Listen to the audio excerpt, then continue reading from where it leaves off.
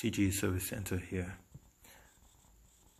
Sony 40 inch TV here, Full HD LED TV with a Samsung panel.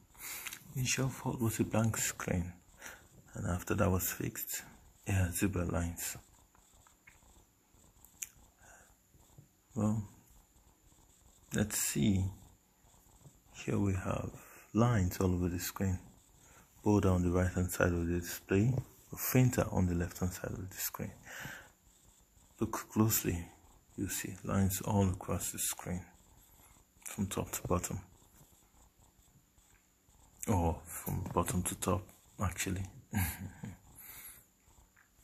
How do you fix this? Is this fixable at all? Yes, it is.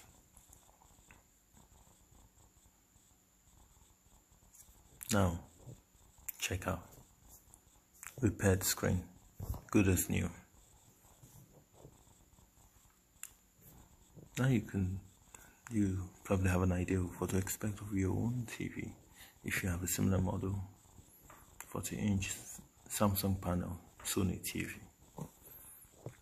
Thanks for watching.